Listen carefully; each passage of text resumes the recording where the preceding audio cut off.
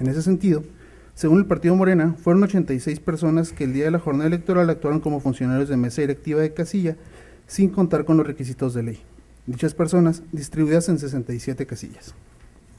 Sin embargo, de la comparativa realizada entre los nombres aportados por el actor y el cotejo de las actas utilizadas en la jornada electoral, no se advirtió que los mismos hayan participado, por lo que no se actualiza la causal de la unidad promovida. Por tanto, se propone declarar infundados los agravios expuestos por el partido Morena. Sin embargo, de la comparativa realizada entre los nombres aportados por el actor y el cotejo de las actas utilizadas en la jornada electoral, no se advirtió que los mismos hayan participado, por lo que no se actualiza la causal de la unidad promovida.